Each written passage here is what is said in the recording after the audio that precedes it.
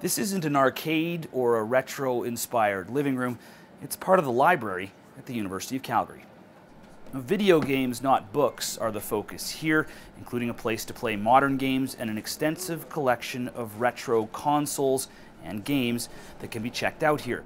About 100 consoles and thousands of games make up the collection here, and doctoral candidate Braydon Beaulieu says studying those retro games is important you know, you look at something like, you know, Super Mario Brothers, um, you know, that, that kind of is like the Beowulf, well, maybe not the Beowulf, but more like the, the Shakespeare or the Chaucer of, of uh, gaming, right? Um, it has a lot of history and, and games like any text are historical objects. Beaulieu, who studies in the English department, says the games we play say a lot about who we are as a society.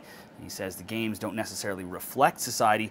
These days, society often reflects the games games are significant, you know, and, and they're not just things that kids play, um, and they haven't been for a really long time.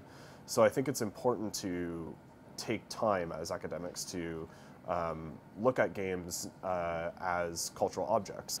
Beaulieu says issues such as gender, race, and sexuality often arise in games these days.